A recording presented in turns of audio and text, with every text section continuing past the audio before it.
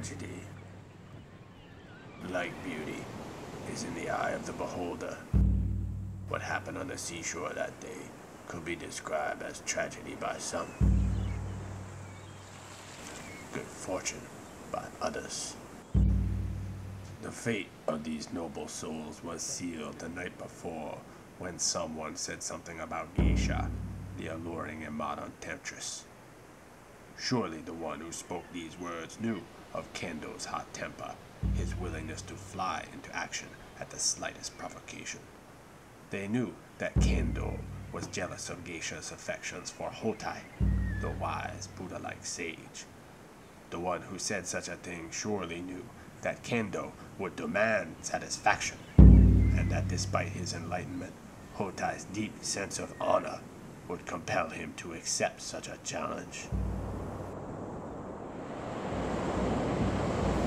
Geisha tried to stop them from their foolishness, but her pleading was useless and the battle was joined.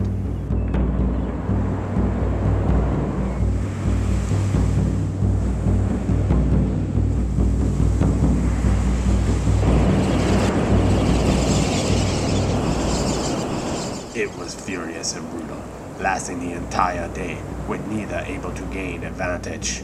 The day grew dark, as if the sun itself refused to gaze upon the horror.